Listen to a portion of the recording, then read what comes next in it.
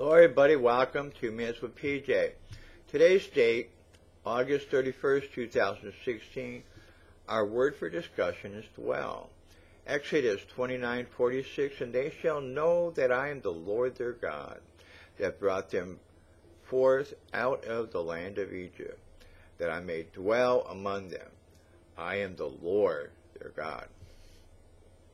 2 Chronicles 8:11 and Solomon brought up the daughter of Pharaoh out of the city of David in, unto the house that he built for her. For he said, My wife shall not dwell in the house of David, king of Israel, because the places are holy, whereunto the ark of the Lord hath come.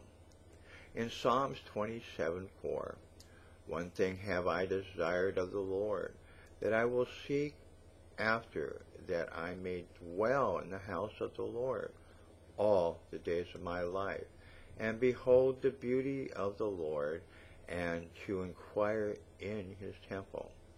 Isaiah 11:6 The wolf also shall dwell with the lamb.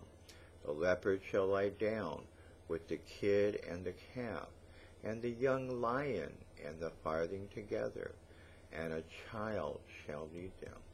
This word defined is to live or to stay as a permanent resident, to reside, to live or continue in a given condition or state, to linger over, to emphasize or ponder in thought, speech, and writing.